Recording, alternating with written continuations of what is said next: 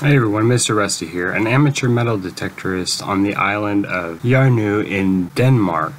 I've discovered 32 pearl jewelry, and the items are believed to be around 1500 years old. The items include pendants, a gold pin, a piece of gold cut up to be used as currency. The local museum estimates that they're about 1500 years old uh, during the Viking era of Denmark. The eclectic hoard possibly could have been used to appease the gods, after a violent volcanic eruption that took place. The local archaeologist says it's tempting to conclude that the poor souls who experienced the ash cloud and rapid climate change that came out of it were desperately trying to avoid chaos, but again, archaeology is not an exact science. It's a fun science to speculate, but unfortunately it's not exact, and scientists don't often like to say, well, maybe we, then this is what it is.